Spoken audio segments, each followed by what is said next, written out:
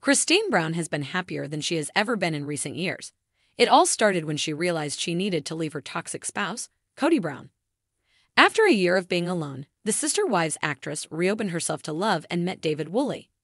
The new pair is now preparing to marry and proclaim their engagement. Christine's wedding announcement revealed that she had been through a makeover and getting fitter. So, what exactly is her secret? Christine Brown is dealing with a lot right now. When she came to Utah, her life changed completely. The Sister Wives star was finally ready to move on after living closer to her adult children and indulging in self love. Things swiftly progressed, and she is now engaged to her boyfriend, David Woolley. As a result, they are eager to tie the knot as soon as possible. Christine is getting ready for her important day, which is quickly coming.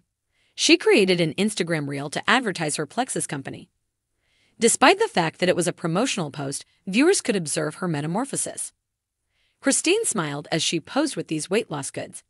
Fans were captivated by her glowing face and lean figure in long sleeved outfits. In another post, the Sister Wives star mentioned how subscription meal kits have aided her weight loss efforts. Christine praised the vegetarian options and stated that she had saved time and money while food shopping. Fans praised her and remarked on her slimmer figure. Christine has been in the spotlight for some months. It's all because of the new relationship of the Sister Wives star. Despite the fact that her fiance David has not appeared on the show, he has gained a lot of followers and attention. Christine appears to be very happy with her new spouse, as evidenced by the fan base. David recently posted a beautiful photo from Utah. As a result, it included mountains and grayish blue clouds. Woolley captioned the picture, What a beautiful life. Fans flocked to the comments area to voice their opinions.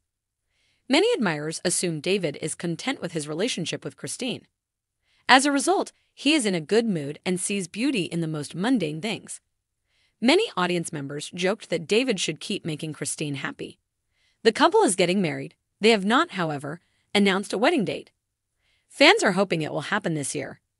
Christine and David have also purchased a new home in Lehi, Utah. They will most likely relocate there while they tie the knot.